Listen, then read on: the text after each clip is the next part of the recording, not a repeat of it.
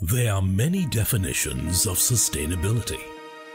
Here at Sembcorp, sustainability is safeguarding the future. To us, that future is bright. We harness the power of the sun and wind, design low carbon sustainable solutions for green urban cities, and lay the foundation for generations to come. Sustainability is innovation, challenging the norms and leading disruption. We innovate to solve complex global problems. We use our experiences to create opportunities from challenges. Sustainability is about the communities. We care for the communities and aim to improve their quality of life. We forge strong partnerships and leverage our platforms in the region to deliver sustainable solutions. Our success is founded upon the trust from the communities we serve. Sustainability is about our people. Our success is bolstered by the strength and energy of one Sembcorp team a team that can thrive in the current and future world. Sustainability is not just a catchphrase. To us, sustainability is our business.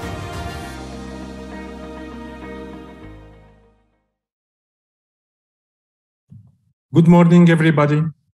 I'm Sharif Assaf, and I'm managing the Engaging Consumer Care Roundtable sustainability, digitalization, decarbonization. It's a lot of technical words. But what's about the customer? The customer is the focus of this uh, workshop today. The customer is becoming by himself a microgrid. Tomorrow, your home will have okay, solar panels, will have storage units, will have okay, your electric vehicle, you'll have programmable appliances. That means it will typically be a microgrid as microgrid, it will participate to the global grid. What are the advantages for the customer to participate to the global grid? First of all, he can have a revenue by selling his excess of power. Beside this, he can also participate to the grid by supporting the grid by selling frequency and voltage, what we call ancillary services to the grid. Beside this, the, the utility also have a very big interest in having the customer engaged to the grid. That means the utility can go and find the extra optimization, the extra efficiency by managing the flexibility that we, by managing the grid at the level of the customer. Beside this, very big interest in terms of capex. That means the utility will have a big deferral of investment. We calculate it's around 100 million in Singapore by relying on the customer assets. That's why the customer becomes a key challenge, a key issue for our future. I'm starting this roundtable by a small presentation, uh, okay, which is the view of ERI@N on the customer engagement. Can we go to the next slide? So what are the, the, the pillars of this presentation? First, will be uh, having a snapshot on the transition in Singapore. Then will be tackling the issue of consumer-assisted flexibility, which is more a new business model, a new model of sharing okay, in, into the energy world. And third, we'll be showcasing some ideas, different ideas and efforts into the customer engagement. Next, please. So what is transition? Transitioning is about switching to clean energies, which are the natural gas, the solar, regional grid, that means we can import tomorrow green energy from our neighbors, and also low carbon alternatives. This is made possible by what we call the different Ds and there is many these Decarbonization, digitalization, decentralization, demand disruption, deregulation, and so many other Ds. But what's about the consumer in all these Ds? How he is, there is no energy transition if at the end the consumer himself is not caring and is not an actor of the transition. Next, please. So let's take a picture, a snapshot of Singapore. Where are we today? We see that uh, 80% of our consumption, industry and commercial, uh, and commercial buildings are it's 80% of our consumption. what we see also is that the consumption, okay, the demand is really what, uh, what we have to tackle. Uh, some efforts, Singapore from 2014 to now have 95% of its energy coming out of gas, of natural gas. And this is the less pollutant, okay, uh, the, the, more decarbonized, I can say, fuel today. And what we foresee for tomorrow is uh, a deployment of 2 gigawatt of uh, green energy, solar panels, or more than 200 megawatt of storage units, and around 16,000 to 100,000 charging stations for the electric vehicles of tomorrow. Next. So once we, we say we want to, to install DERs, distributed energy resources, by this I mean solar panels, storage units, and so on, how are we going to tackle the variability? Because they are intermittent resources and they create problem to the grid. On the other side, uh, digitalization, decarbonization, sustainability has a cost. So how are we going to tackle all this investment? Please, next. So to tackle this investment, let's focus on the customer because we said that the customer will be the main focus of this presentation and the main focus of the transition. Yesterday, the customer was very classical. By classical, conventional, I mean with non-flexible demands. That means his demand was fixed. We could not move it. But tomorrow, this customer is changing. Like at the beginning of my presentation, I said that the customer is owning a microgrid. His house is a microgrid. That means he has solar panels, he have electric vehicle, he have a storage unit, and he have also different energy that he can manage and control in his house. Don't forget that the world of tomorrow, thermal and, and electrical and all other fluids are combined into one unique paradigm called the energy. And this make, is made possible thanks to the digitalization. That means digitalization and, de- and decentralization is supported by IoT devices, by uh, uh, edge controllers, by a flexi demand control. But obviously, we are in a complete okay, electrical environment that means easy, easy to manage and control. So this is the new consumer. He's a microgrid. Next, please. So flexibility. What's what are the impact in terms of flexibility? Flexibility is a keyword in electricity. Flexibility is the capacity to manage supply and the demand when you have uncertainty and you have a very big variability. And this is in different relevant okay, uh, time scales. So today we can do it okay, through the generation. We can do it also through the transmission. And tomorrow, but tomorrow is 2022, we can do it on the demand side. That means we can do it okay, playing directly on customer assets. That means from the what we were using what we call the demand response to go to the negawatt. And from the negawatt, thanks to the DER management, we are going to the flexiwatt. So most of our effort will be on the flexiwatt, depending on the flexibility at the level of the customer. Next, please. The customer. So a change of paradigm. How? Yesterday, our world was siloed. Energies were managed independently. So you take a building, usually the thermal is managed on one side and the electrical on the other side. But also your car, you have one car that you drive, you don't share. Your energy is not shared either. And we are moving to a sharing model, a new access model called the sharing model. And this, in this model, your car might be shared, or a car might be shared different different users. The electrical assets might be shared, and all this will be orchestrated. Next slide. So, what are the advantages of this sharing uh, of the sharing economy. The advantages are many. First of one, first advantages are stability. That means we'll have more resilience in the grid. Why? Because instead of having one power station, we have many, who are the customers. Obviously, we'll have will be an easiness in managing the congestion and the outages of the grid. We'll be managing the intermittency. But for the customer, there is also revenues. That means he will participate to the grid make it more stable thanks to the voltage control, but it's also a source of revenue for him. He will sell his extra energy. That means he'll be participating to the market. And obviously, we never have to forget that for the utility is a very big difference of investment. That means it's reduction of capex. Next. Next slide. Yes. So what ERI@N, okay, that I represent today, okay, is specifically doing into this field. We are tackling the issue at two levels. One level is the the, uh, the customer, that means the building or a group of building or a district, and the other level is the grid. And this we do it with two projects. SMES project is a project about multi-energy. What do we mean by multi-energy? If you take a building, Many companies go and claim they can do energy efficiency.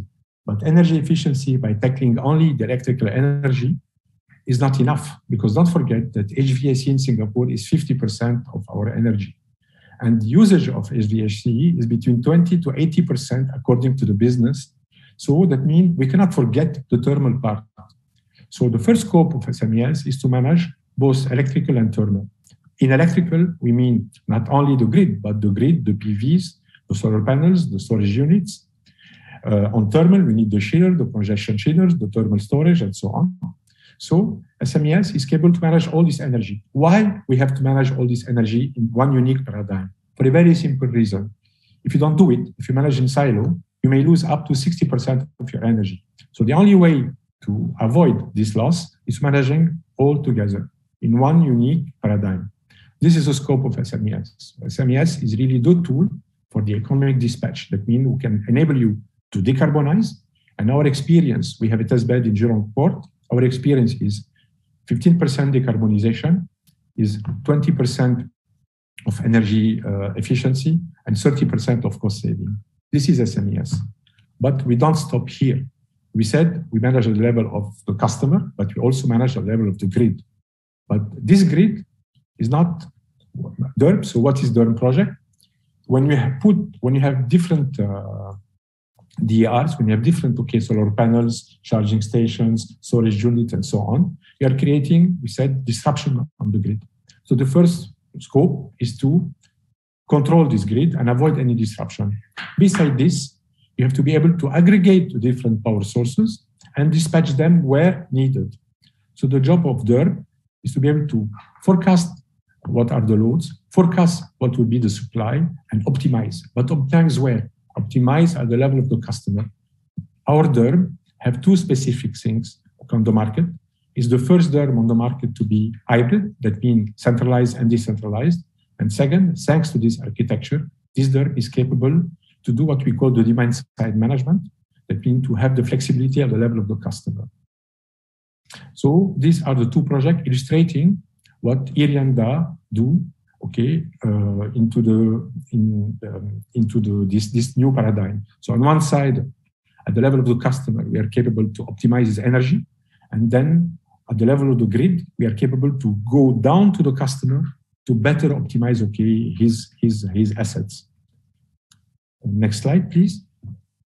So now I'll be introducing our different uh, uh, partners. So I will start with Sunseap. Sunseap is, a, is the most important uh, retailer today in Singapore and is the most important company into the energy transition. We are, okay, in this, what I want to say that in this roundtable, we have doers. ERI@N is doing and working with SP for the future grid of Singapore. Uh, Sunseap is, is the, the company guiding the customer, guiding the building owner through the decarbonization. Um, I will then we'll be seeing after okay Schneider and uh, and uh, Enea. But let me introduce now on Peter. So Peter will be guiding the customers to decarbonization. That means helping them, the customer, to to size the, the, the PV panels, to size the energy storage, to size to retrofit his lighting to have probably DC lighting with lower consumption, to finance his project, to uh, to monitor his energy, to imagine, okay, uh, charging station in the infrastructure. And finally, also to give certificates, okay, on the renewable uh, implementation for the customer. So Peter will guide us through the, his presentation. Next slide. After this, we'll have Jean-Philippe. Jean-Philippe El okay, is head of sales of Schneider. Schneider is world leader in uh, electrical distribution. I, I believe is the biggest company today, the biggest reality today we have in power and uh, and in uh, and in uh, low, medium, and high voltage. so Jean-Philippe will be presenting a customer-focused application, a real app on where on one side the utility is capable to control the loads of the customer, but on the other side, the customer have the peace of mind to have a fixed tariff. And he'll be also making a simulation of a temperature control. Finally, we have Anne. Next slide. Uh, Anne, Anne is a principal in Enea. Enea is, uh, is uh, one of the few consultants which is focused only on the energy transition. Uh, Enea will, is working with uh, bankers, is working with utilities, is working with heavy energy users to make the transition. So Anne will be speaking about the needs in terms of power system, the revenue streams, and the roadblocks also. So now I give the hand to Peter to start his presentation, and then we'll enjoy, okay, a quick Q&A with Peter. Go on, Peter. Thank you, Sheriff. Uh, could I have my slides up, please? Thank you. Good morning, everyone. Uh, big thank you to the organizers and ERIAN for inviting me to participate in this think tank roundtable session. My name is Peter Goh from the Sunseap Group, and today I'll be talking about guiding building and facility owners in their transition to, to a low carbon future. Next slide, please. Before we dive in, uh, I'd like to share more about Sunseap Group with everyone. We were established back in 2011. We are 10 years old today, and we currently have over 2 gigawatt peak of solar capacity contracted across 11 countries. We are Singapore's most established clean energy solutions provider, and we serve clients ranging from local, small, medium enterprises to large local corporates to multinationals and government organizations. We are supported by an extensive and robust network of financial institutions and business partners including our shareholders, Temasek Holdings, Banpu, banks such as UOB, DBS, ING, and industry partners such as Boustead Projects. Next slide, please. Solar leasing forms the cornerstone of our business, but over the years, we have grown from strength to strength and currently provide the full spectrum of clean energy solutions through our various subsidiaries. So apart from solar leasing, these would include energy retail, clean energy retail to the likes of Apple, Facebook, Amazon, etc., energy performance contracting, green roofs, environmental sustainability design, energy storage systems and microgrids.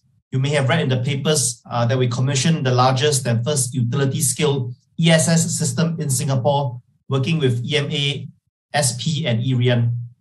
We also do R&D into the application of machine learning onto energy data which is what we call energy intelligence, and EV charges, and so on. Next slide, please. I liken sustainability and decarbonization to a weight loss journey. I thought of this analogy because I'm currently trying to lose weight myself. So, firstly, you must know where you stand. How heavy are you? Next, you set a target. For example, I wanted to lose 5 kg in two months. And with that, you drop a plan on how you intend to go about achieving those targets. But do bear in mind that this is a journey and miracles do not happen overnight. As you embark on your journey, weigh in at every milestone so that you are aware of your progress. And be prepared to make sacrifices, but know that your efforts will eventually pay off. And lastly, seek professional help whenever required. There are three parts to this equation on the left of the screen, I term this as the input.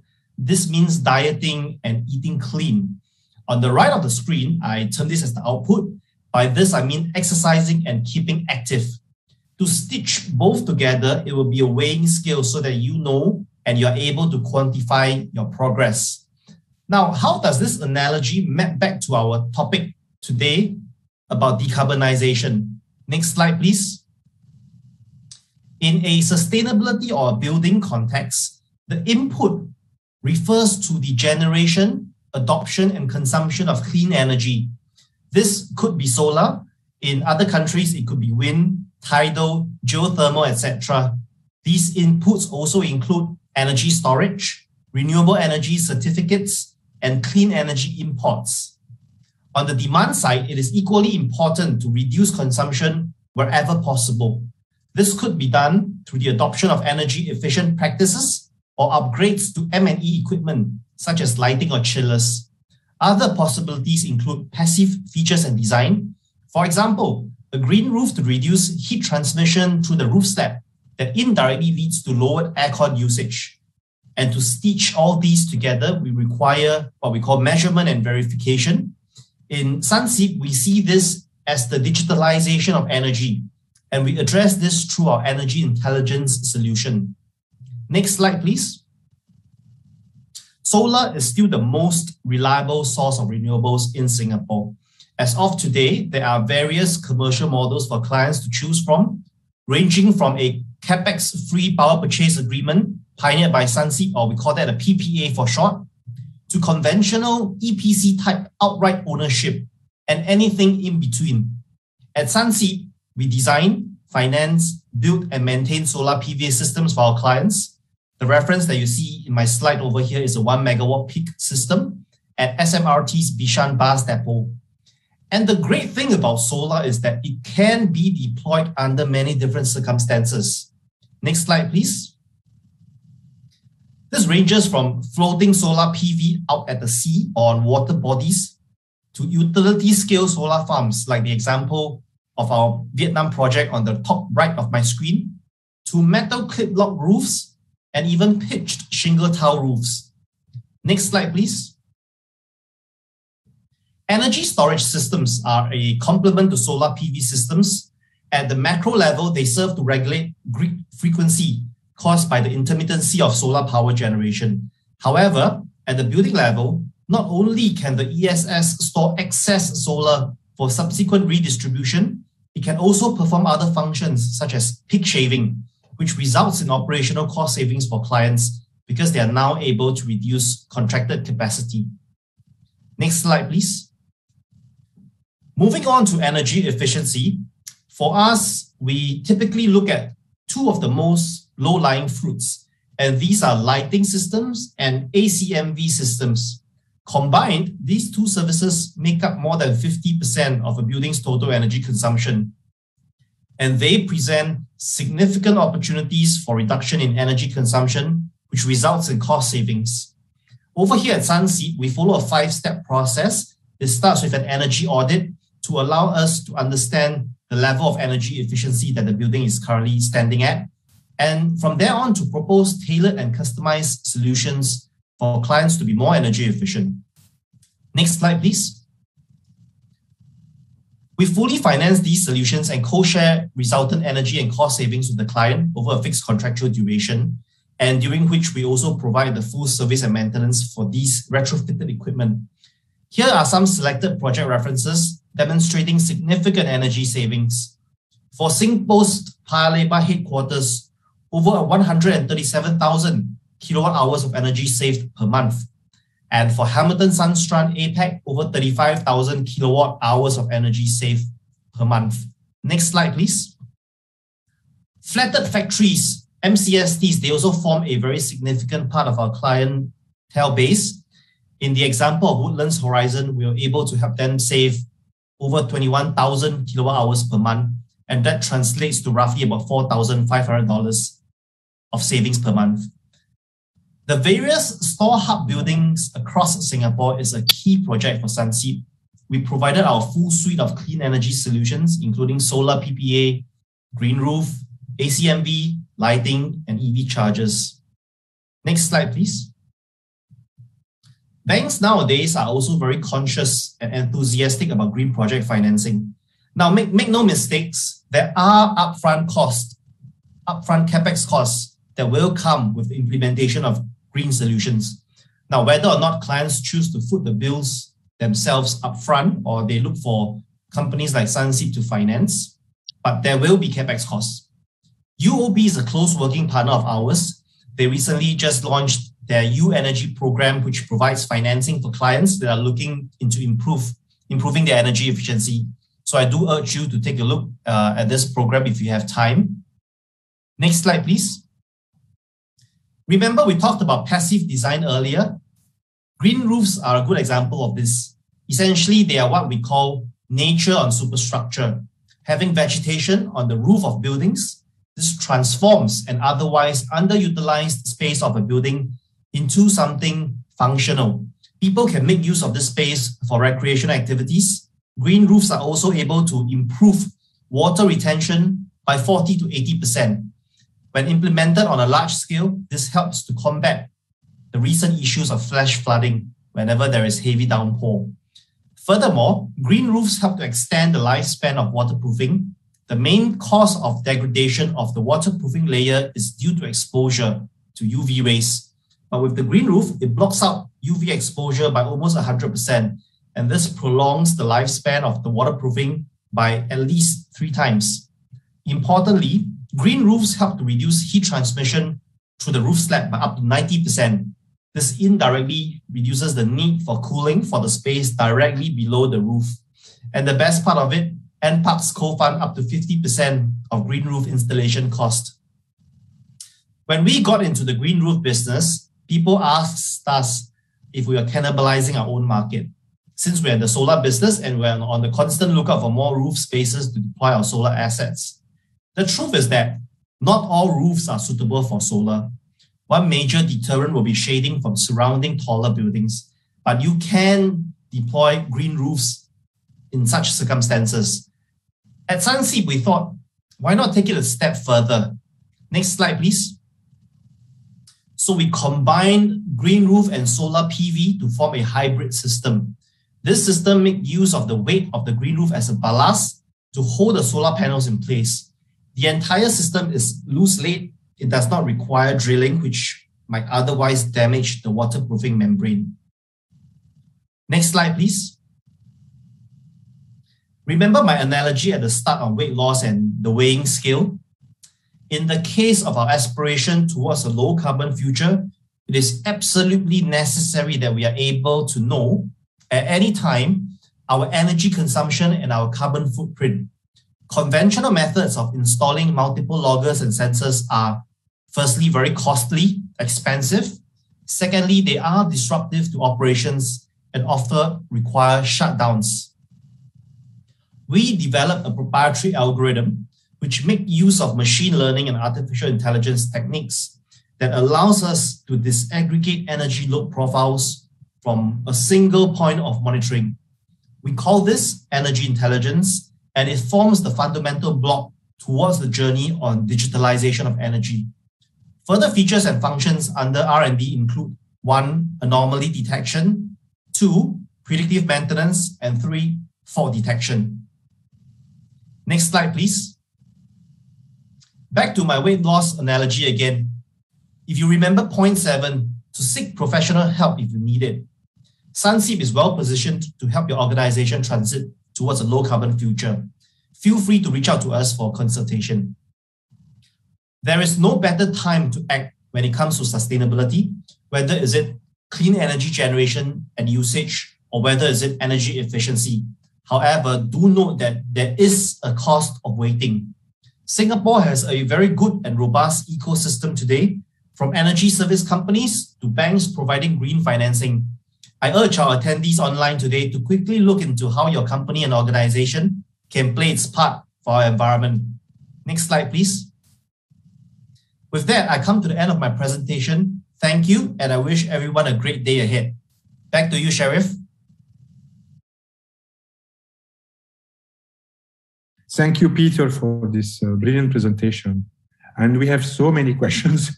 I'm just getting six questions. Uh, the first one, okay, what are the few challenges that clean tech company face in promotion of decarbonization? That's a that's a question that we get quite often, and uh, we have quite a lot of experience to share from this. Well, in Singapore and, and in the Asian region, I think the biggest challenge is really about consumers' mindsets. And that is not something that we can change overnight. Uh, we have to accept the reality that our, our thinking when it comes to sustainability is perhaps not as advanced as those our counterparts in the European countries or in the Scandinavian countries. Over here in Asia, in Singapore, there is a big consideration about cost. How much will it cost me? What is my capex? What are my returns on investment? How much money can I save? So we have to justify to the clients from a financial perspective. And that takes priority in our engagement with clients in Singapore and in Asia. Um, unless these are multinational companies that they have a global directive or they are part of the RE100 initiative, they need to implement clean energy solutions and decarbonize globally. But that is but a fraction of the number of companies in Singapore. Majority are local SMEs and they are cost sensitive. I believe that this situation is getting better as compared to maybe 10 years ago, but there, there is still a lot of room for improvement. And the only way forward really is good education and good messaging.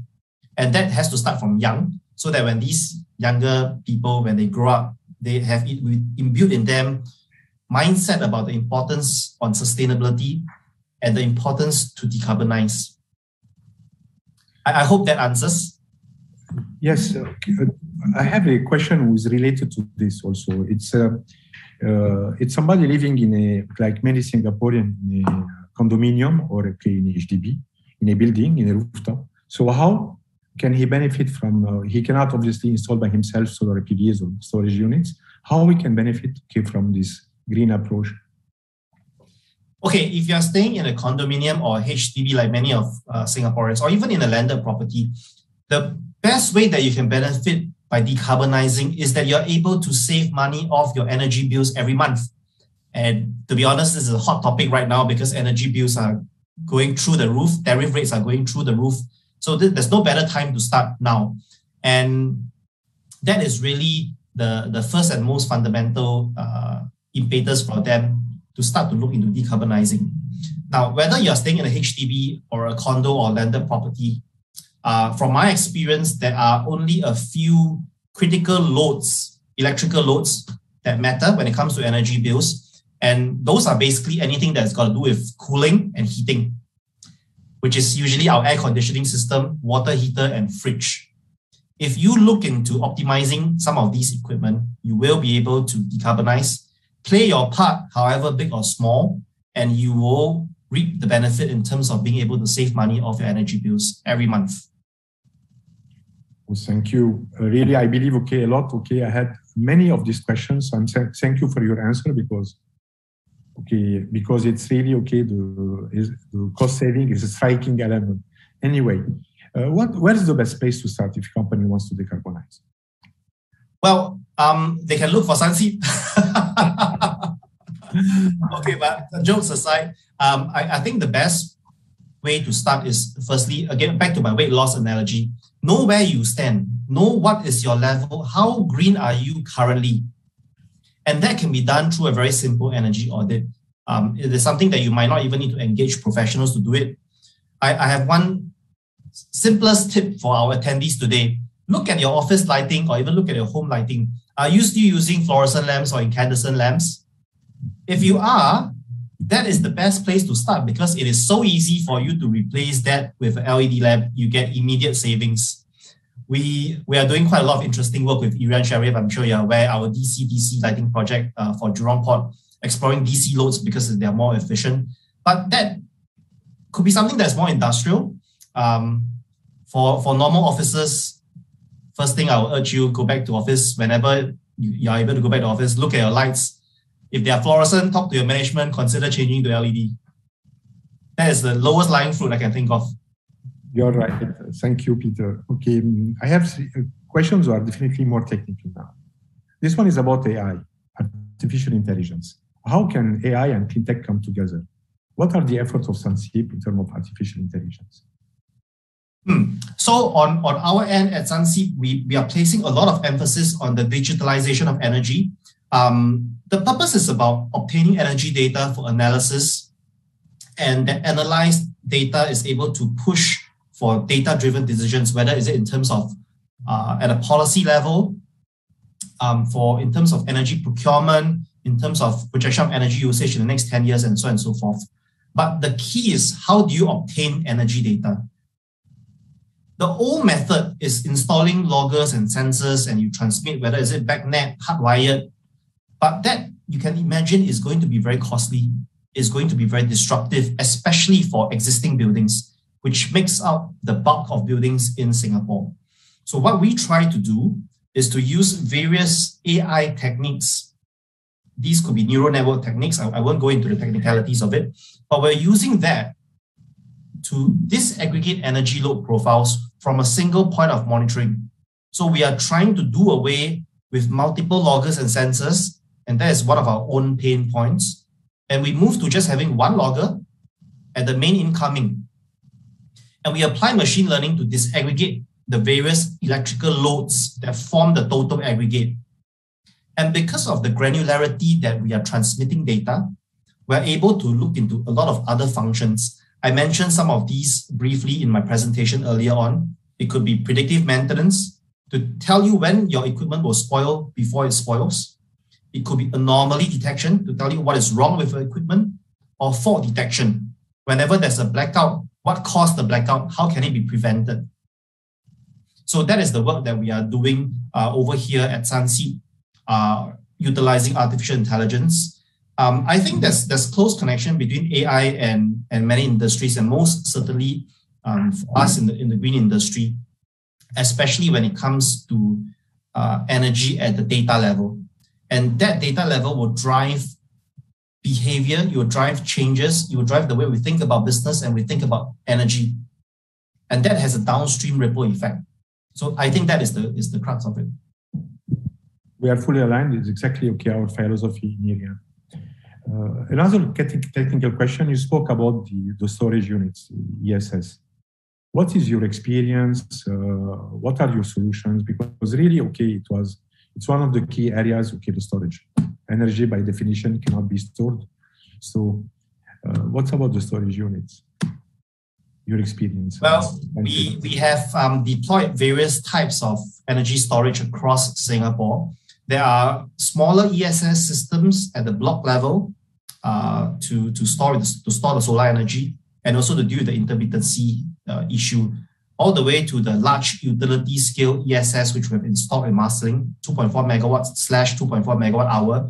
That is to deal with frequency regulation, contingency reserve, um, we're in the midst of doing uh, a microgrid at, at island uh, of Singapore.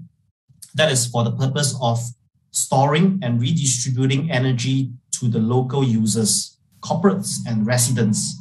Um, the experience so far with ESS, I think it is, is the next extension of growth in Singapore in the clean tech sector. Now that solar has, has reached a certain level of proliferation you need to have the ESS to come in to complement whatever clean energy that's being generated and make full use of it. The big challenge is not so much technology, it is about regulation and space. Singapore is land scarce. The ESS itself is not a small system.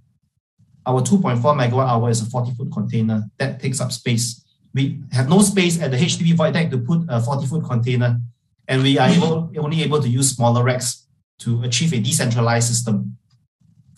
Um, regulations is a huge hurdle. This is not the latest of all technologies, but it's very new in terms of deployment when it comes to Singapore. And there are fire risks. That is a fact. Um, but it is something that eventually we need to come to and be able to live with, much as much like how our handphones can be a fire risk because the battery could explode, it could catch fire. Same for our laptops. It is a risk that we have to come to terms with if we want to push this forward. And of course, companies and research institutions need to work together to find the best possible solution to mitigate fire risk without compromising performance of the system. So that will be my take on, uh, on the ESS. Uh, I, I strongly believe that the ESS market will, will um, grow very exponentially in the next three to five years. And our government has already put forth the national target of, uh, I think it's 200 megawatt hours by 2025. So that is another invisible push uh, from the back. Do you find, okay, uh, ESS and, and uh, PVs are, okay, the two, I would say, uh, main vectors, okay, of the green, okay, electricity. But the problem is there is a cost for these DRs. Do you see a way to reduce the cost of these DRs, technologies, or uh, I don't know, within the business model? How can we reduce the cost of these DRs? Because I believe it's the main barrier also. Uh, in, in Europe, an example, if you want to, say in France, to have to be okay islanded or to participate to the grid. At less than 5,000 euro, you can have your full autonomy. Why? And then you have a contract with utility will be covering probably offsetting 30% of your cost. But this is, I will say, more a government incentivization. Is there technologies, new technologies, new type of solar panels and batteries that will reduce the cost of this investment? The way I look at it, I think it is about greater adoption. Um, when there is a much bigger demand, the prices of the equipment will drop. And we have seen this happen before in the solar market. The LCOE for solar, I think maybe 10 years ago, could be as high as five to seven US dollars uh, per, per watt peak. Today is less than a dollar. And at least when, when I first got the no solar panels, they were 240 watt peak per panel. Today they are 600 watt peak per panel. So it tripled in the, in the past five to seven years. And prices have dropped uh, many times. So in order for there to be large scale uh, proliferation, it's, it's, a bit of a chicken and egg issue because the prices must drop in order for, for the market to pick it up. But on the other hand, the market has to pick it up in order for prices to drop. So ESS or the whole system is, is really where solar is to me, I think maybe 10 years ago. It is just at the peak of a boom. And technology will get better, better round trip efficiency, less degradation, longer lifespan, coupled by dropping prices, and there will be massive adoption. So I don't think it's so much uh, about, about new technologies or very high-tech innovations. I think it's, it's market forces, supply and demand. and that itself will drive R&D to push the technology even further. Thank you very much, Peter. Uh, I believe it was a very comprehensive presentation and convincing. Now, okay, I thank you, and uh, you remain with us for the end of the discussion. Now I'm inviting uh, Jean-Philippe uh, from Schneider to go on with his presentation. Okay, thank you, Sharif, and good morning, everyone. Okay, so um, as we as we all know today, uh, we have about 80% of the CO2 emissions, which are somehow coming from electricity generation or consumption. And when we speak about energy consumption, we speak about utility customers, okay, like you and me.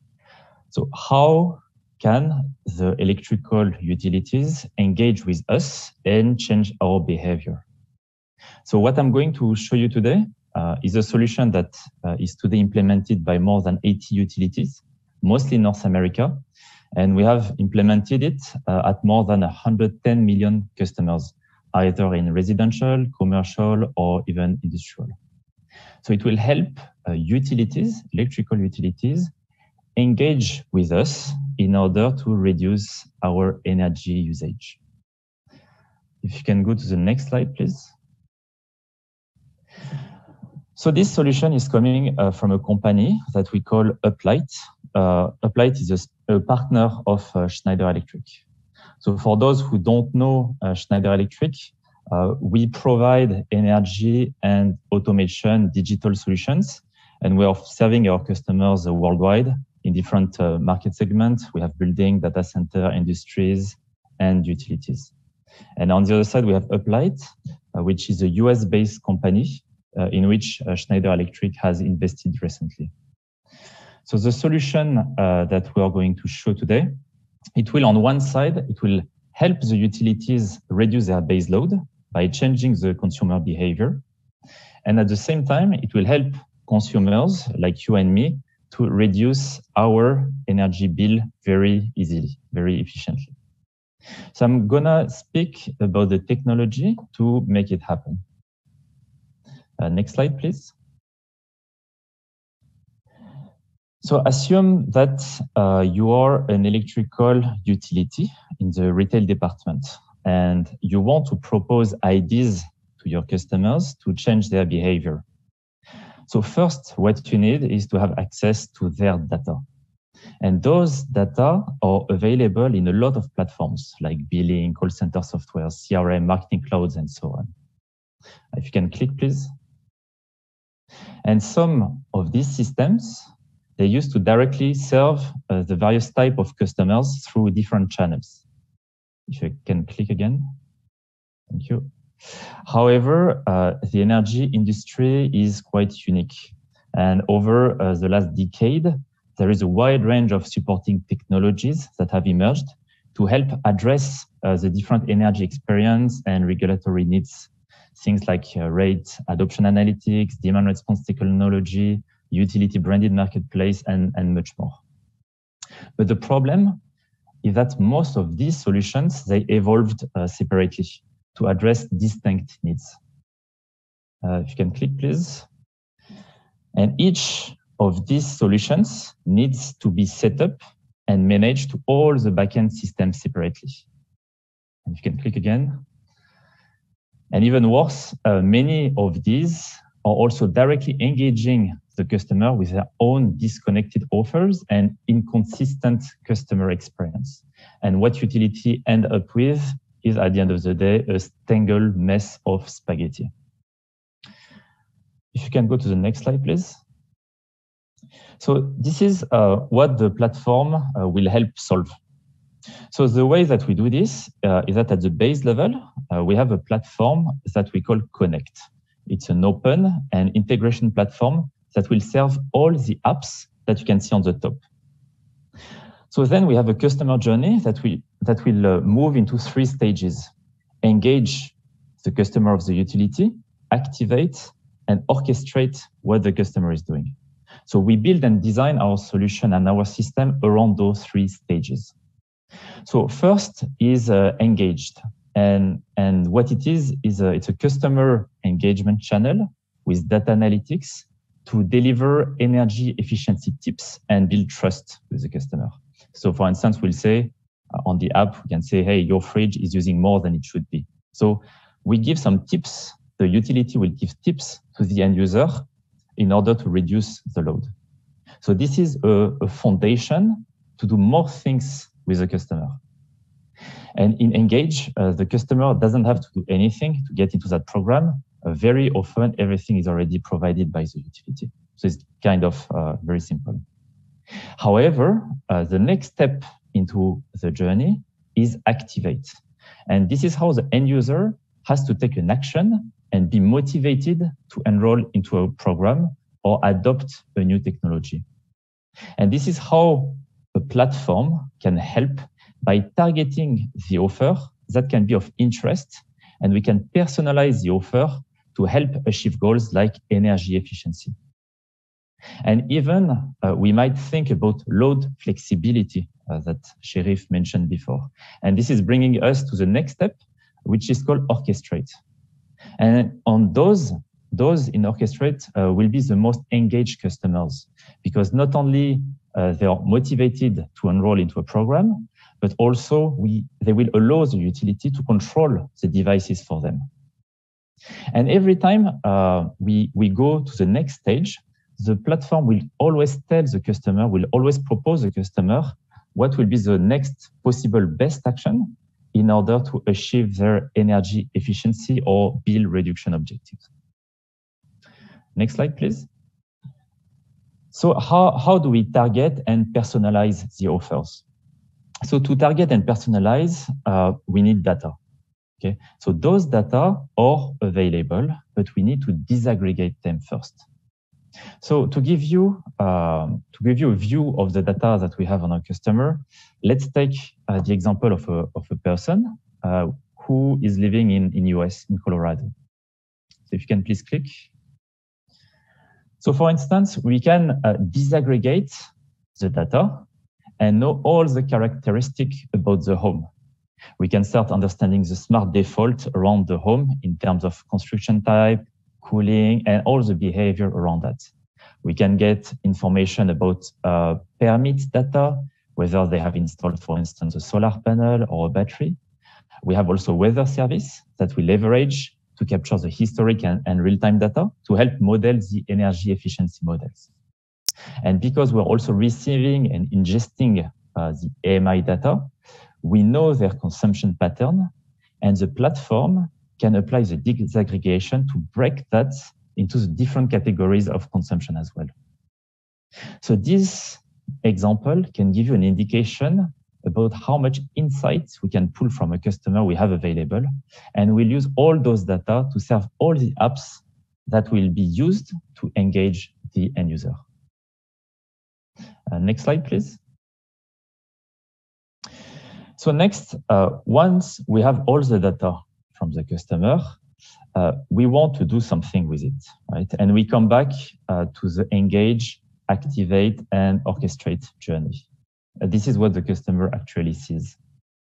So the data and intelligence we have on the customer, it will enable the platform to target marketing to customers. Okay, so those customers, we send them some marketing that could be, um, and then they could be interested for a given program or incentives, and we can send message to them that will be the most impactful. And we can do this uh, through marketing, as well as inserting those call to action into existing uh, outreach, like a usage alert. And that usually leads them to the utility marketplace, and I will show you a, a, a demo later, to trigger uh, a curated action. So for example, we can say, hey, you're consuming too much, so let's go and buy an appliance and you can claim an energy efficiency rebate. And also we can bundle the, the purchase of a smart thermostat with the enrollment in the in a DR program, demand response program. So what we do is that we consolidate multiple separate and very tedious transactions into a single frictionless transaction. Next slide, please. So this enables us to match uh, and verify the eligibility of customers uh, for a given offering, rebate, and program instantaneously. And how we achieve this is that we are uh, getting, so we are ingesting the utilities account data of customers on a daily basis. So it's always up to date. And then we have configured the rule regarding eligibility and any cap, promo, time of offer, etc. So customers will only see offers which are relevant to them. And the rebate processing at point of sales means that they will only pay the delta between the purchase price minus the rebate. So if you compare that uh, to the commonplace alternatives where we customers, we have to pay full price, uh, wait for the device to arrive, then separately we have to fill out a paper rebate application to mail off, then going through a separate enrollment process for a DR program, waiting days to weeks uh, for manual acceptance, and then weeks to months to receive the, uh, our incentives, then you can understand how combining all of this into one single click transaction versus months or weeks is how we can see a massive conversion into a DR program, for instance. And the result of fixing this lousy and disconnected experience for the customer is that we see a three times increase of conversion into those programs like DR I was mentioning before. Uh, next slide, please. So once we have enrolled uh, the customer, the platform will bring them in the orchestrated energy solution, which is the optimization application. So the platform will combine and utilize customer and ecosystem partner data, which we then use as an input to our energy optimization system. So today our ecosystem includes uh, partners who can deliver dynamic signal for price, market transactions, carbon emissions, utility triggers, for instance, uh, through to device manufacturers that can send control instructions to thermostat, EV charger, water heater, and so on. So what we do with all the data is that we plug it into our energy optimization system that has that has optimizations based on device class model, uh, asset relationship within a home, customer model, and then we dispatch for either event, for example, uh, demand response, or for continual uh, demand management. Uh, next slide, please. So we've got uh, here some example uh, simulations to quickly walk through and to help uh, visualize this. So first is the most common case where we are optimizing a smart thermostat operation around the utility time of use rate while maintaining the customer comfort. So what our platform, what the orchestrated energy is doing, it is that it has learned the thermal characteristic of the home to understand the thermal mass and the thermal leakage of the home, to then determine what is the optimal time to do cooling around the peak and shoulder price signal to save the consumer, the, customer uh, the most money. So in, in this example, it's a fairly large delta between the peak to off-peak rate. So avoiding any consumptions during the peak window makes a lot of sense. But uh, for some clients, the delta is very small. And so while it's beneficial to shift uh, some peak consumption, it's not optimal to shift all as the cost of leakage outweighs the cost saving. Next slide, please. So in this uh, next slide, uh, stepping, up the, stepping up the complexity, uh, we have incorporated solar with a net energy metering tariff. So this uh, then changing the dispatch signal, as you can see, to do that cooling later in the morning in a longer batch during the shoulder window to soak up uh, the excess of solar. Next slide, please. And here in, the, in this last example, we add in a battery. Okay. So in this case, the customer has given a zero export tariff for the solar. And so the objective is to fully self, self-consume uh, the solar into the home appliance first and charge the battery with excess generation. So similar to the thermal efficiency of the home, additionally, additionally, what is being accounted for here is a round trip efficiency of the battery in the rank stacking of how to optimize the energy usage across the home and its net demand from the grid. Next slide, please. So in here, let's just see a, a quick demo of our customer journey. So this is uh, what we are doing with a, couple of our clients today. And this is really coming from the engage, activate, and orchestrate experience that I was mentioning before. So let's start uh, on, on the left side with a customer who receive a high usage alarm. Okay, so they receive this uh, message maybe twice a month, and they can see here uh, that their usage is higher than expected. So when the customer sees that, uh, he's now motivated because he's, he knows that his bill will be higher than expected. So then we move to the second peak, so he can just scroll down. And then the customer can see how they consume during the day and where it's coming from.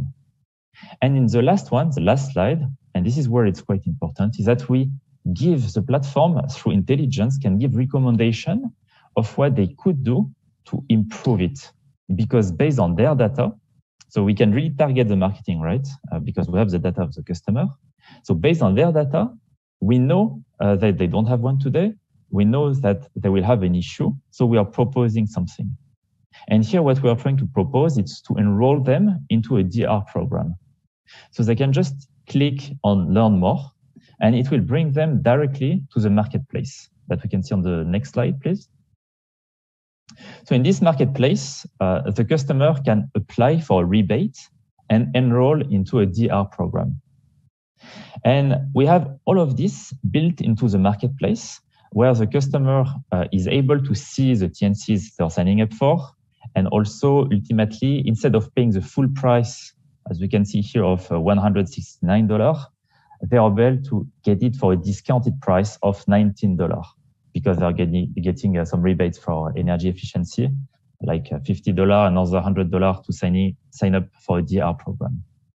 So they just click uh, to add to the cart, review, agree to the TNC. Uh, next slide, please.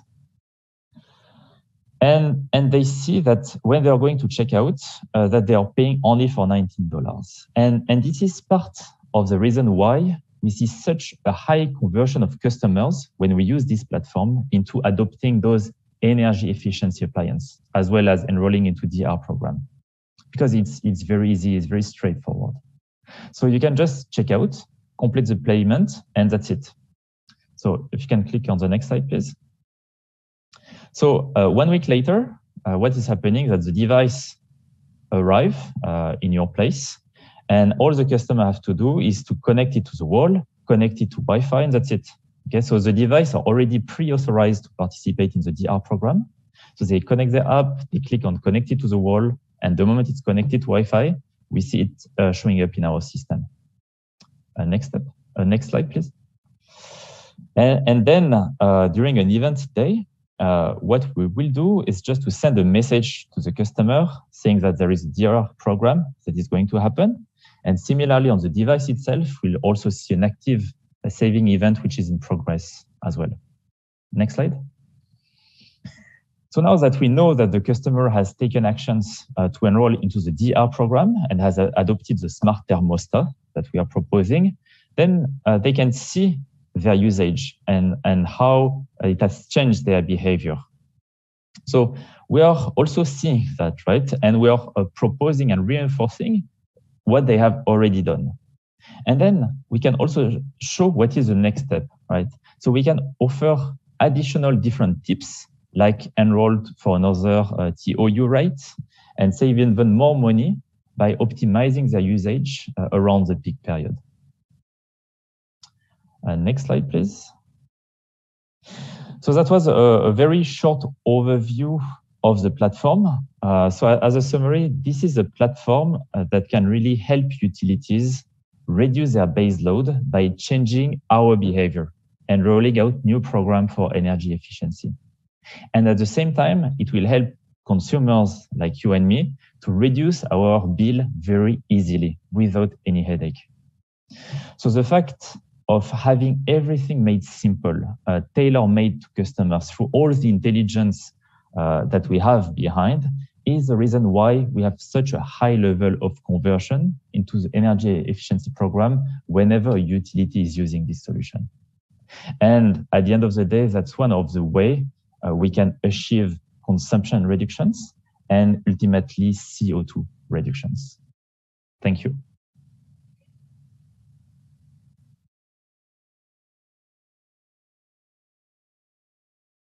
I think you're on mute, uh, Yes, thank you, Jean-Philippe. Um, now I'm asking Anne, okay, to pursue. And then we have enough time, I see, I measure the time, okay, to have a very interesting and fruitful discussion after. Go on, Anne. Thank you. Good morning, everybody.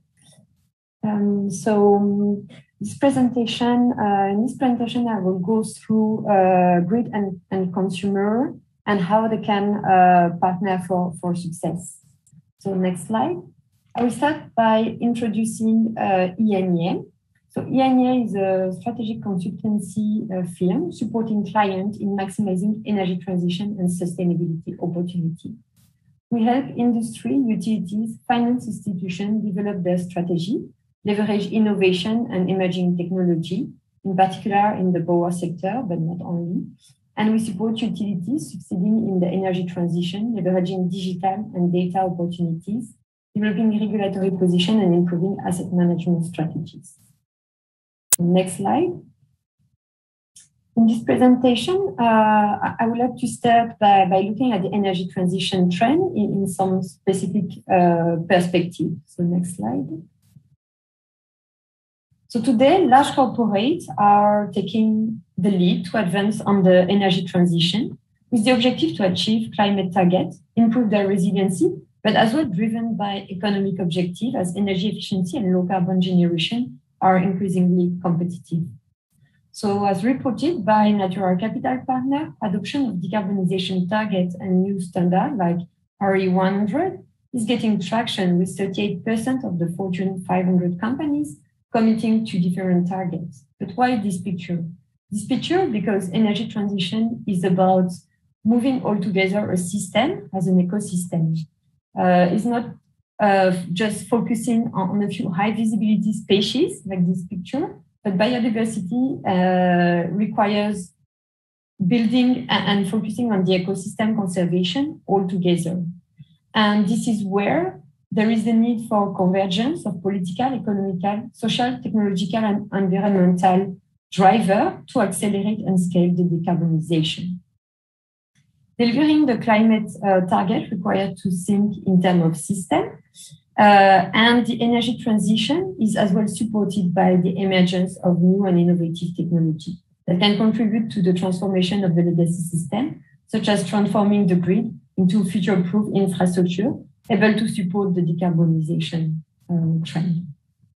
So in this presentation, I will focus on the role of the demand side solution and how the convergence of electricity infrastructure, consumer objective can contribute to accelerate the energy transition as an ecosystem. The first part will be looking at the grid perspective. Then I will be looking at the consumer perspective and share views on the opportunity and challenges to integrate both. Next slide. So let's start with the grid perspective. Next slide. So the energy transition is about shifting paradigm to a more decentralized and re renewable-based uh, energy system, where we have multiple smaller actors that produce energy from multiple streams and feedstock, and where consumers play an active role in managing the energy system. There is a changing mix with greater leading to greater variability of the energy resources and change in terms of system uh, stability, the inertia that is calling for uh, change in the way we manage the power system and manage the network. And this is what is shown on the right part of the slide with two perspectives. The first one is what we call the role of system management. So it's about balancing the energy, uh, the, the power at any point in time. Uh, that is a, a critical, a very specific aspect of the power system. The uh, increase in the renewable energy penetration lead to some specific question in terms of managing peak capacity, but as well system law. What is system law? Is the minimum level of demand uh, and what are the power generation at the time of this minimum level of demand and how to manage the security and the stability of the system, in particular during those events which are new and driven by higher renewable energy. The system stability as well is uh, changed uh, significantly with higher uh, renewable energy penetration, with uh, lower uh, natural inertia in the system. And this uh, what? Entail the need of flexibility, which can have different form and which require as well very fast responding uh, capacity, like battery storage. But in addition to that, there is a change with production assets that are much smaller than conventional assets and that are operated by a variety of players at the edge of the grid. And this has some impact at the distribution uh, level, so at the lower part of the network. And this part of the network is facing unprecedented, unprecedented changes. Why? Because this part of the network used to be managed, I would say, by design. So by in the conception of the, the sizing of the grid in order to feed the power from large power plant down to the consumer. And this is changing significantly with more variability at the edge of the grid and this required to adopt new way to operate the system at the distribution level. This means as well that the distribution grid cannot just keep investing in poles and wire, but need to consider, in addition, new way to maintain power quality and the level of service. And those new ways is uh, potentially coming from the flexibility and coming from the consumer side. One other aspect uh, that is uh, very important is uh, the, cap- the new capability coming from the digital transformation. Next slide. So the digital transformation is a key enabler of the future grid. At ENEA, we have conducted a joint work last year with Energy Network Australia to explore data opportunity for smarter grid. To give some context, the project objective was to identify use case common across distribution network service provider in Australia and outline gaps and challenges to provide and provide some recommendation to choose to close those gaps and to deliver improved, more efficient network operation and greater customer outcomes. The team performed an extensive stakeholder consultation with 27 interviews across 44 stakeholders and 22 organizations. Those organizations including the transmission and distribution operator, but also third parties that provided uh, insightful uh, outsider view. The study has been focusing on network operation. And this study, among the different opportunities, shows a growing interest to tap into demand side uh, potential. So to illustrate this, Here in this slide, I am focusing on uh, the list of use cases that were produced by the study. And if we look at those use cases, actually, half of them are related to distributed energy resources and are likely to benefit from leveraging data and capabilities from demand side, either via advanced metering infrastructure or demand side management solutions. Those are also among the topics that appears as less mature or to come as a short to medium term priority compared to immediate needs. And I will come back to this in the last part presentation and look uh, in more detail how demand can meet such, uh, such a. Next slide. So now let's look at uh, the consumer perspective. And more specifically, I will focus first on, on the driven and the solution, and I will focus on digital driven solutions. So I will not discuss more, I would say, traditional asset replacement type of energy efficiency solution. Next slide. From a technology standpoint, demand side management system, we can consider they are made of three main components. First one being the asset, also called distributed energy resources. Second one being communication infrastructure and control.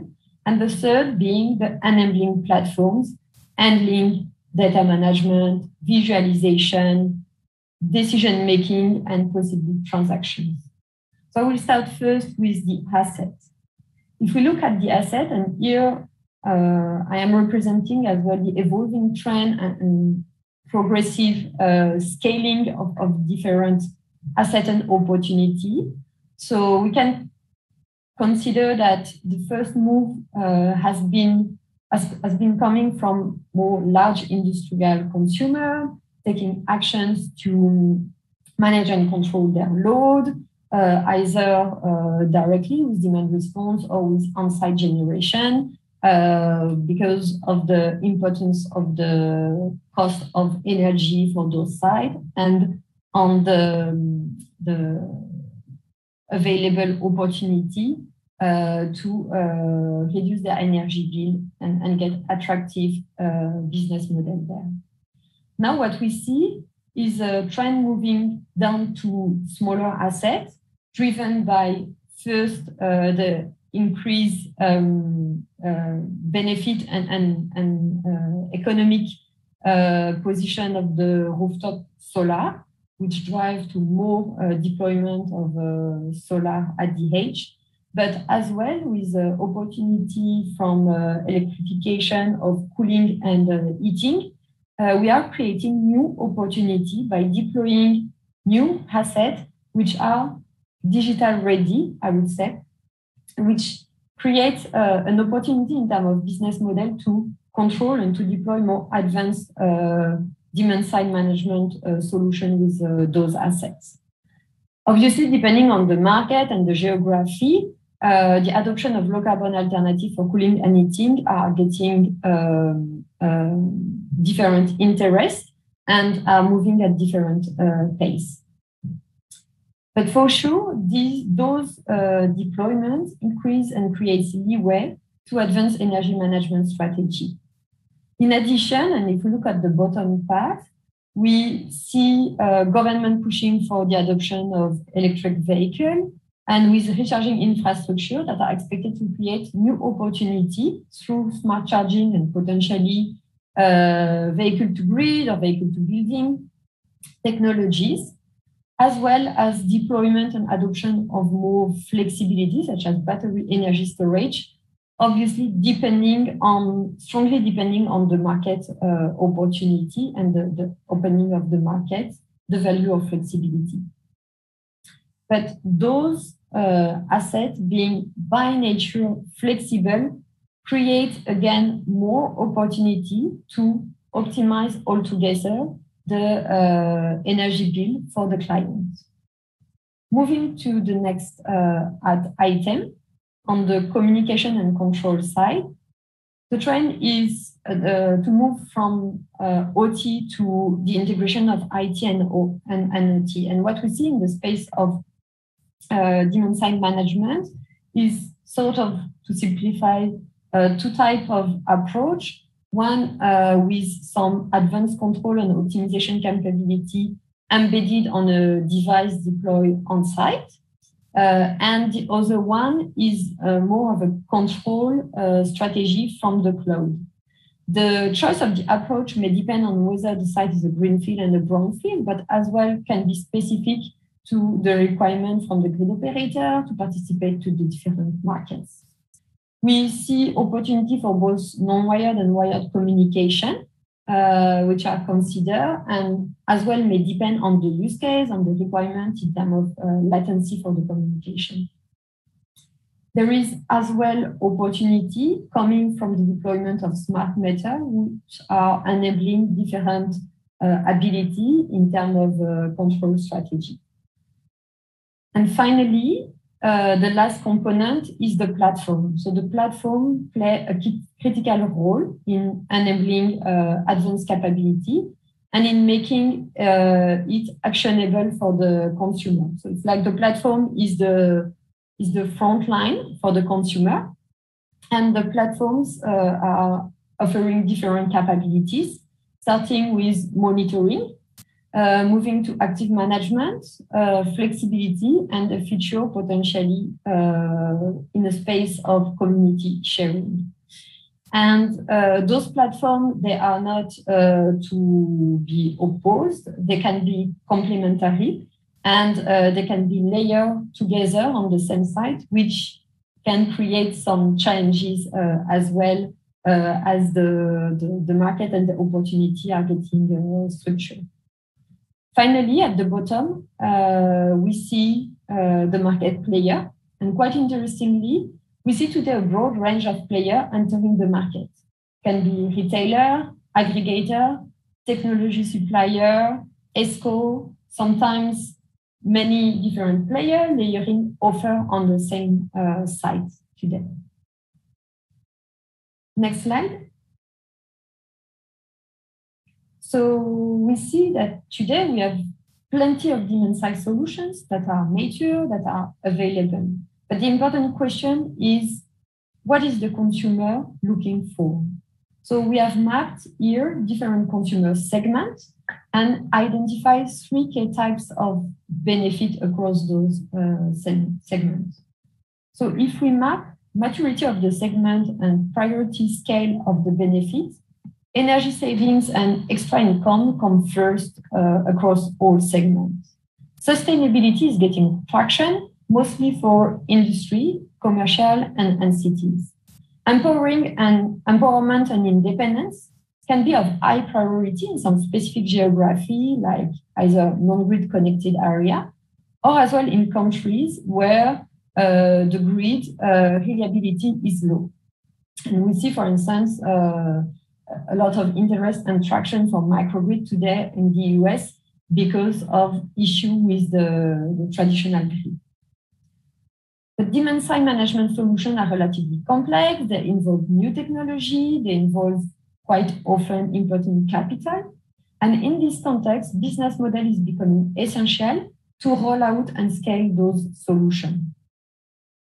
So what we see more and more from different market players are different model of as a service offering, which are getting traction and uh, with the intention to actually remove the complexity from the consumer, provide access to capital, and ensure operational management of solutions that are more and more complex.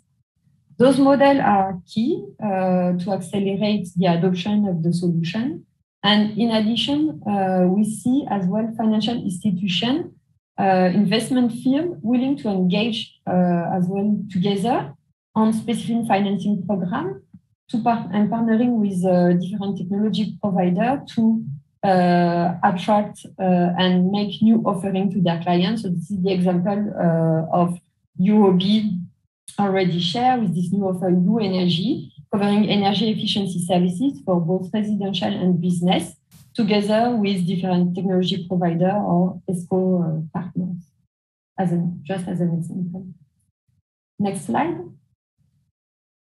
So moving back to a more uh, technical consideration, and as discussed in the first part, the grid needs new services to continue delivering on its mission, and consumers need demand side management to achieve their targets. So the question is how both can collaborate to create more value. Next slide.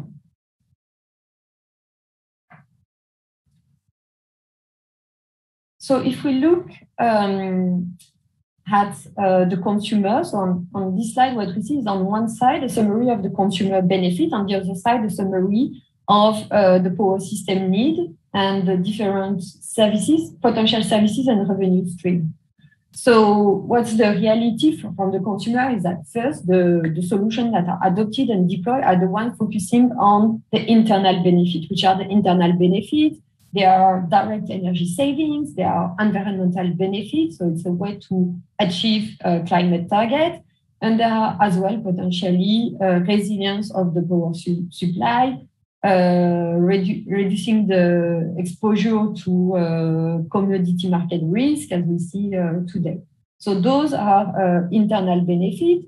And most of the time, those internal benefits can be um, tapped into uh, without requiring major regulatory change. We see two additional uh, benefits or opportunity coming from services that can be delivered to the grid. One is, I would say, more um, of a requirement. So more and more requirements are, are, are expressed by distribution system operator in terms of connection compliance. So today, for instance, to connect um, rooftop PV panel, there will be some requirements in terms of controllability uh, coming from the inverter uh, with some minimum level of um, voltage control, for instance, provided to the grid. So this is, I would say, the stick aspect of the of the compliance. But on the other side, there is a, a revenue stream that is possible, that is that can be driven from participating into uh, markets and providing flexibility, providing different type of services from uh, the behind the meter asset to the grid.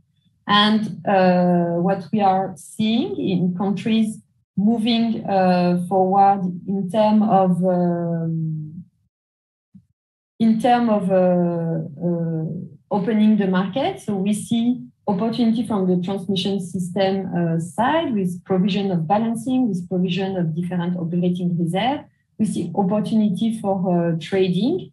And uh, progressively, some countries are uh, experimenting or opening market on the distribution network side. So in particular, it is interesting to look at Australia, to look at uh, UK in that field, as they are uh, very advanced in opening market on, on the distribution level.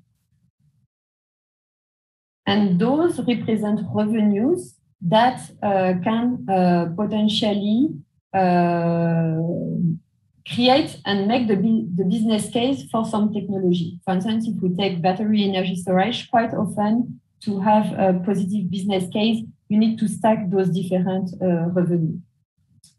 So recognizing the value of flexibility implies a fundamental shift in the regulation and in operational mindset and uh, depending on the country and maturity, we see different opportunities uh, that are there for uh, consumer to create new revenue streams from their assets. Next slide. So demand side management uh, is relatively, some demand side management solutions are relatively constrained. They are getting traction, but there are some challenges in the, in the deployment of those uh, of those uh, solutions and as well in the opportunity to tap into uh, revenue. So the most frequent barrier we can identify there are in four areas, commercial, technical, regulatory, and social, especially when it comes to uh, residential uh, consumer in particular. So we'll focus just on uh, some of them. So from a commercial perspective, uh, the barriers that are expressed uh, more frequently, I would say, from the consumer are the one related to the need to invest some uh, capital and the uncertainty on the return. Because part of the revenue can be linked to the energy market, creating some potential risk and uncertainty in the revenue stream.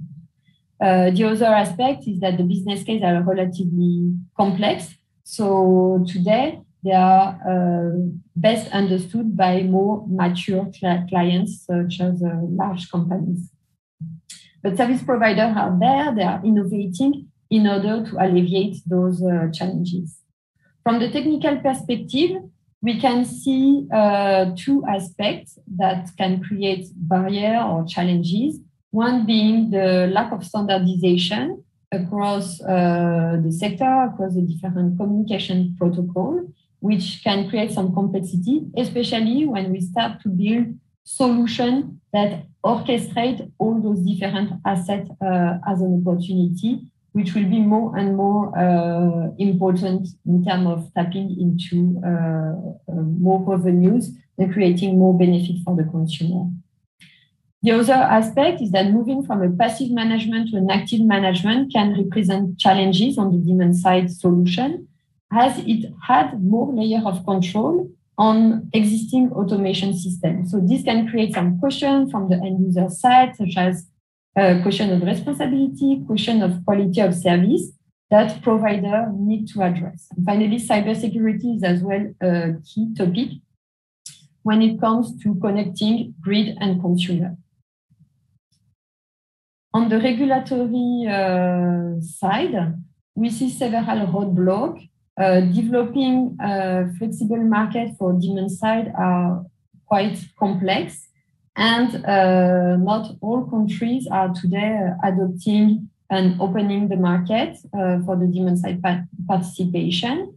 Uh, but uh, quite often there are opportunities, still some opportunity, especially if there are dynamic retail tariffs, if uh, there are some opportunities through the connection contract, it can create opportunity to tap into some value linked to um, participating to uh, the balancing of, of the market. While uh, dynamic tariffs are explored across many ge geography, we see uh, indeed only some countries opening on the distribution layer side. And uh, as I mentioned, as an example, in the UK, we start to have sizable market so, for instance, uh, Western uh, Power Distribution uh, announced recently last auction for flexibility, and they have reached today a portfolio that is procuring 700 megawatts of flexibility for the distribution market. So we see that we are reaching in some countries some sizable market. Australia is as well very dynamic in that regard. Next slide. So finally, and to summarize the, different uh, aspects, the push for sustainability across the value chain is creating opportunities for multiple players in the domain of the side management. So player can find interest to partner to bring integrated solution. So if we look at the consumer, we have seen that the consumer can reap direct benefit by making savings, by uh, achieving some uh, climate target, and by improving their reliability.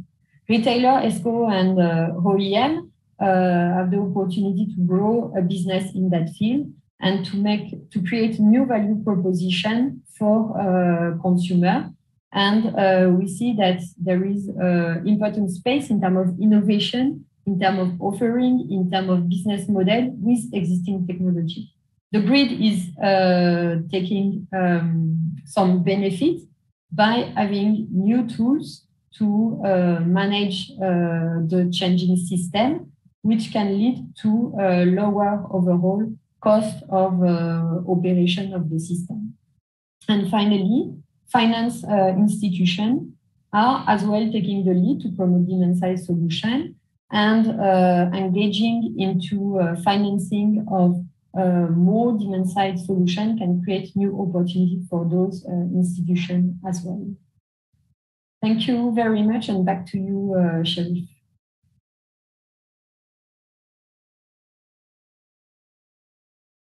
Thank you, Anne.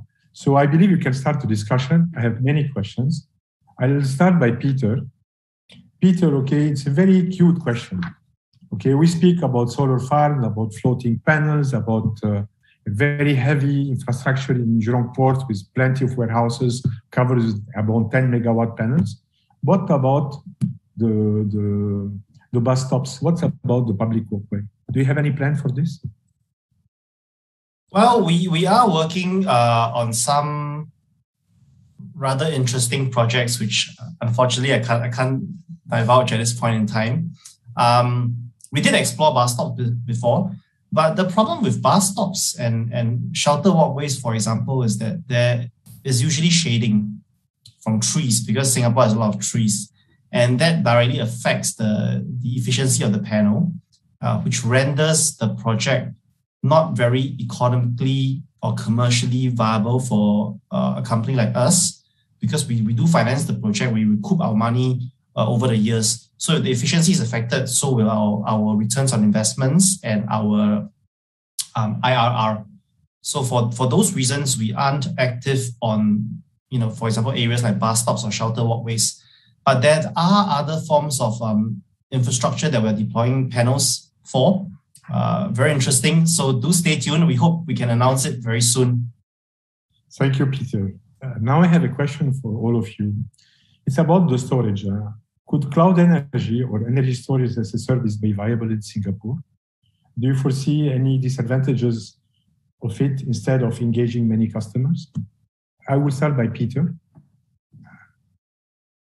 So energy storage as a service is something that we have been um, exploring ever since we embarked on our project together with EMA, SP, and uh, ERI@N.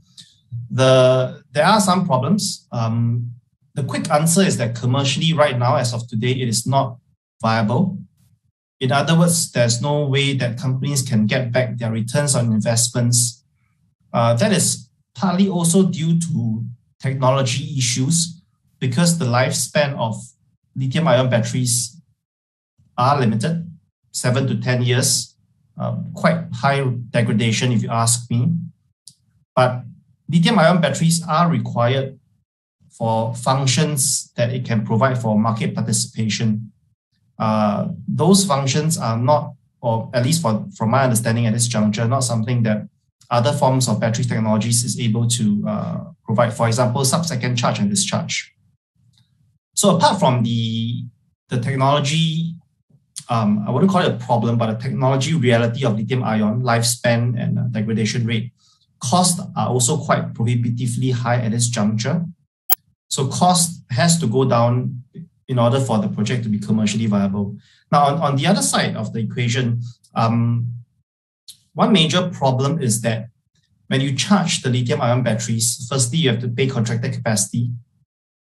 Secondly, you are, you are depending on, well, if, if in our case, you know, it's with, with um, SP, the cost of charging the battery is more expensive than the revenue you get from discharging the battery.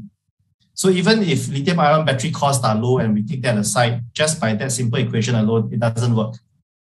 However, if the battery is being charged by solar, for example, and the LCOE of solar is firstly stable, it remains consistent over 20 years because it's not affected by, by fluctuations in, in um, commodity pricing.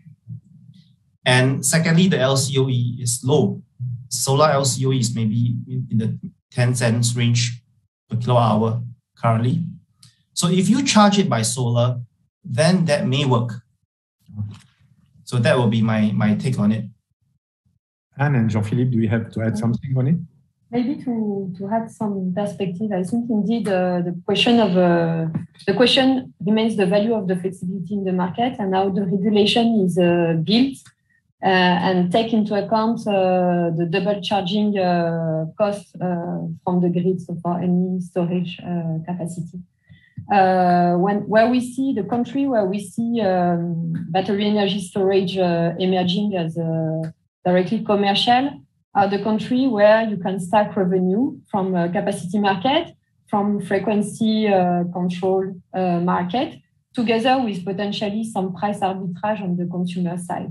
So Singapore is moving uh, with the creation of the forward capacity market. So maybe moving forward, it will create some more opportunity to add additional uh, revenue on, on conditions that today are not economic because the signal for flexibility is not uh, yet there. Jean-Philippe, anything? Yes, I, I totally agree with uh, with what Peter and Anne said. Um, so today the technology exists. So we Schneider, we are not directly involved in the manufacturing of the batteries. Uh, however, all the technology to do a lot of things around that is existing, all the software and so on. Uh, however, as uh, Anne said, we need also to have a, a regulation uh, that will push also the adoption of, uh, of that. Thank you, Jean-Philippe. Jean-Philippe, uh, your Uplight presentation have uh, generated many questions. I'll be starting by the first one. Can it be deployed in Singapore? Do you need some technological boom so it may, so it happens? What do you need to deliver such solution? And first of it, can it happen in Singapore? Okay, so before it can happen to Singapore, I would say that the technology, as you have seen, it exists. So it's already there. Uh, we already uh, deployed it in the US. Uh, however, not only the technology needs to be there. So we also need to have a, a change of regulation in order to push uh, this change. So we need to have uh, utilities with target on energy efficiency, for example. Uh, we need to have demand response available. Uh, and also it's not compulsory. We need to have a smart meter deployed, dynamic tariff. And at the end of the day, we need to have also data available. Uh, and, and, that's why we have seen it uh, widely deployed in the, in the US so far. Uh, we have also opportunities in other countries uh, where the regulation is quite advanced, like uh, in UK and Australia that Anne was mentioning before. So those preconditions are not fully available yet uh, in Asia and also in Singapore. However, with a push of a regulation, uh, all those technical solutions exist today, uh, and we can, yeah, and we can start deploying them to to make a more sustainable future to try to illustrate it, uh, do you have any idea about the quantitative benefit for the utility into managing such system? The benefits for the utility? Yeah. Yeah, but the main benefit of the utility is, is really to reduce the load, right? So in many countries, uh, they have a target on energy efficiency. Okay. So energy efficiency, you can do it with the asset that the utility have, right? Uh, they can reduce the loss and everything. But when it comes to consumer, we need to change the behavior of customers. And such a solution of Uplight is a solution that will help the customer to change its behavior. So that's what we are trying to propose. It's a very simple solution, uh, no headache, very simple, and everything can be uh, plug and play. And that's the, the, main benefits for the utility is to help them uh, decrease the energy, uh, improve the energy efficiency of their end users.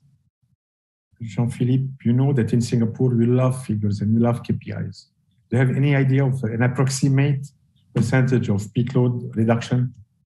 It really, right? it, it really depends on the number of any agency to ask. if I tell you something, I'll tell you something wrong, so I'll prefer not telling you. Especially it's recorded, right? So, no, so, so, so it, it really depends how many customers have engaged and and what exactly they will use. I mean, of course, if we give tips, uh, just change your uh, bulb lights, you won't have the same result as if you're doing demand response. So it really depends on what is what is being done. Uh, but what is for sure is that the platform will definitely help the utility to engage their, their end users. And that's what is, that's the missing piece uh, today. I have another question for you. What about data privacy? You're getting data of a lot of customers. Uh, what's about the privacy and what do you do with this data? Do you resell them to Google? You sell them? Yes, of course. That's how we make business in Schneider. You know. so, so, so, no. So all all the data practices are all legal. Okay. So uh, with that, we we gather all the data from a, a wide range of uh, sources. So we have a public uh, permit records. So we know if they have installed solar panels, storage, and so on. Uh, we know the purchase, customer, and household data from data uh, aggregation. Uh, we know also all the utility data that are, are being provided, part of a contract, contractual agreement. So different utilities, different countries, they have different uh, rules and regulation around the private, uh, private privacy, data privacy. but we always uh, comply. So we check the rules and we try to comply with those ones. So we are not uh, reselling to Google. I have still one question. Okay, uh, many customers in Singapore will sign up for this type of system to have a fixed price. You believe demand response will work or have some customer be motivated to enroll? On the customer side, yes, and that's that's the idea of the of the solution is to how to push the end user to go for demand response. Okay, so if I'm a Lambda customer, I receive a lot of uh, advertisement clearly, and every time I say, "Oh, I should, I should do it, I should do that," but it's it takes too much time, it's complicated, and that's something I don't want, and I guess many people uh, don't want as well. We we want something simple, so having such a solution where in two click, not only I get something new uh, and it's so simple and I will get a reduction of my bill. Yeah, well, I mean, that's definitely something that, that we want. Thank you, Jean-Philippe. Uh, now, okay, uh, last but not least, okay, is Anne. Australia is far advanced okay, in terms of solar, in terms of even DER technology. What can we learn from Australia in terms of grid transformation? and about the demand side integration? So yes, that, that's a good question. I think uh, Australia, it's very interesting to look at, at Australia. And uh, so Australia is a large territory, so we have different uh, utilities that are adopting and, and trialing different approach. So one first aspect that uh, is interesting to look at is in, Western uh, Australia, they are uh, an approach for the grid management that is modular. So they recognize that maybe some part of the grid, especially because of the large area in, in, in Australia, are better uh, managed as a standalone power system. So this drives them as well to tap into a demand side solution because they need to manage uh, systems locally with the resources that are available locally. But at the same time, uh, when you are in territory with dense uh, population. Uh, mesh grid remain models that are beneficial, and there they are working on, on different concepts that will allow to tap into flexibility from the end user side. And in particular, they are working today in the, on the implementation of what they call dynamic operating envelope. And this concept is uh, quite interesting and is very specific today to Australia. This is a concept, concept that will uh, frame, um, uh, that will create a framework that allows to have sort of dynamic connection agreement for all type of assets, down to a small PV panel on a, on a house. So this will create a framework with controllability to dynamically authorize um, offtake or authorize injection into the grid based on what is possible uh, to do, based on the best optimization uh, of the grid and of the power system altogether. Uh, but this requires as well to evolve the role of the different market player. And in that field, uh, I would say this is uh, still uh, driven by different pilot projects and experimentation, trialing different model of the role of the distribution system operator, of potential creation of a distributed market operator. And, um, but certainly there is, uh, um, I would say, uh, acceptance of the fact that moving forward, we will need to be able to tap and to control the assets that are on the demand side in order to uh, scale as much as possible the renewable energy locally uh, in a way that we can manage the grid and, and tap into the benefit of, for the community.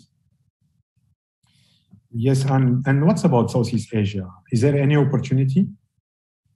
So we have seen uh, with the presentation uh, uh, from from Sunseap that yes, there are opportunities. So certainly in the field of energy efficiency, uh, this, this is today uh, a way forward, and especially with uh, high commodity prices and volatile markets across the region, there is an interest and a benefit to engage into energy efficiency measure and program. in addition to that, we see as well uh, traction for um, solar in the region, and uh, as in particular uh, rooftop solar, with where many countries actually it's economic and attractive to engage into deployment of, of such technology. And uh, we have as well a specificity in the region because of this um, geography that uh, in order to promote access to energy, microgrid is as well a topic specific, I would say, in the region for two aspects. One is access to energy, so bringing energy for areas that are not getting electricity today, but as well for commercial and industrial uh, sites that are uh, remote, that are not directly uh, connected to the grid, to move from uh, diesel only generation to a more sustainable uh, power sourcing. So this is uh, probably interesting uh, technology uh, as well for the region. Thank you, Anne. Uh, Anne, we have you have presented, and it's also in the presentation of ERI@N, we have said something about DERMS, and I believe that today one new feature of DERM is this demand side flexibility. But okay, we, we, so but we are always okay into the power, just electrical power. What's about the multi-energy? We said at the beginning of the presentation that uh, at least in any household, 50% of the energy goes into thermal, to HVAC. So what's about multi-energy systems? How multi-energy system and DERM can live together? Same for the VPP. We have virtual power plants. They are today only electrical. But tomorrow, if you look at the paradigm of energy, is wider than just the electrical. So what are your thoughts in terms of first, first of all, pushing also the, the grid operators to take this, to take the other, I would say, energy into consideration and not just only the, the, the electrical, take into account SP. On one side, you have SP cooling, on the other side, have SPPG power grids, two separate entities siloed nothing done in common. So I think first aspect is that with more and more electrification, so we have a natural convergence between uh, heating and, and, and, electrification.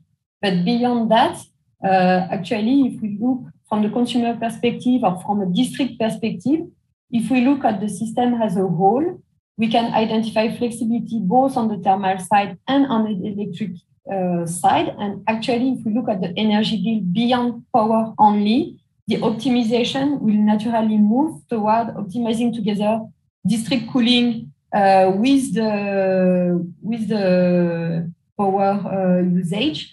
And uh, this actually, from the perspective of the power grid operator, uh, represents some flexibility. So flexibility in that case is coming from uh, ability to have flexibility on the thermal side, but which cascade eventually has some flexibility on the power side. So I would say the convergence is coming from the consumer or the district perspective with the objective to optimize the energy bill globally. And the energy bill is not just power, it's all the usage uh, together. So we will move progressively I believe, into more multi-energy optimization uh, because once you have done everything you can on the energy efficiency on the power only, you have to do more. All companies have to continue to do more efficiency every single year. And at some point to do more, you need to engage into more active optimization and you need to consider the multi-energy optimization uh, as well. Thank you very much, uh, Anne.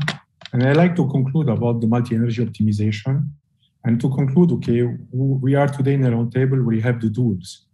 Uh, Schneider, okay, is the world leader in uh, electrical distribution and many other businesses. Uh, is more than retailer. Okay, it's a company with a global approach and really sharing this new model of sharing, the sharing model or the assisted, uh, the assisted flexibility model. ENEA is the consultant, okay, making, helping many companies making the transition. If I have to keep in mind, to bear in mind, we all have in common words like flexibility. We have in common things like demand side management. That means we go down to the level of the customer. And really, customer is at the center of the approach. If, and if tomorrow there is a big move towards okay, managing together all these energies, it will come from the customer. So I thank you all It was a very, very interesting uh, roundtable. We are finishing 10 minutes ahead of time. Unless you have some comments to say. Do you want to have some comments? I will start by Anne uh, about how you felt to how, okay, uh, was, was your last and ultimate message to give to all the people okay, attending our roundtable? Between us, we are not far from 300 people attending. That means a very, that means we have attracted a lot of people to our roundtable. So if you wanted to just to give a last message, and then then then Peter and uh, and Jean-Philippe. Oh, I think what, what I take from the different uh, presentation uh, is the importance of uh, innovating not just on the technology, but on the technology together with the customer offering, together with the business model, and uh, not uh, and, and all aspects are important because at the end of the day, we need to engage the customer. We need to help company transition and set climate targets. And uh, if the markets move to uh, pull from the consumer, then we will be able to scale more easily. But this requires technology, of course, but this requires as well new platform to engage the customer. This requires new business model to help the consumer navigating through the complexity of uh, those different uh, solutions. Peter? Well, I, I think that um, we are all quite lucky to be at this, you know, very exciting stage. And I think it is the, the turning point of the transformation of Singapore's energy landscape. And the ecosystem today is a lot more robust and ready than it was three, five years, 10 years ago. Uh, Sharif, you mentioned earlier on, uh, even just within this roundtable, we have uh, various parties from consultants to uh, uh, product companies like Schneider and developers like ourselves and research institutions like ERI@N. So the ecosystem is very robust. I think consumers should take full advantage of uh, this point of time that we're in. I mentioned earlier on in my in my talk that there is a cost of waiting, whether is it an environmental cost or a monetary cost. There is a cost. Uh, previously, there may be a lack of solutions, whether is it um, hardware, software, consulting, so on and so forth. But today we are at a good point of time, good ecosystem, and no better time to start. Thank you, Jean-Philippe. Yes, so um, for me, I would say that after COVID, um, I think we all realize uh, that we should back off a little bit, right? And, and we should all move more into sustainability. Uh, so the good thing is that uh, now there is a push in that direction. So that's that's a very good time to do it. The technology is there, it exists. Manufacturer like uh, like Schneider, we're ready uh, to do that. So need we need to all make effort now uh, to keep engaging our customer, engaging our end users. You and me, we need to do it. And yeah, all together, I think that's uh, that's how we can we can reach a much more sustainable future. Okay, I believe that uh, what was have to be said has been said. I believe that it was very fruitful. I'm happy that we could be together. I, I hope that next um, roundtable will be face to face.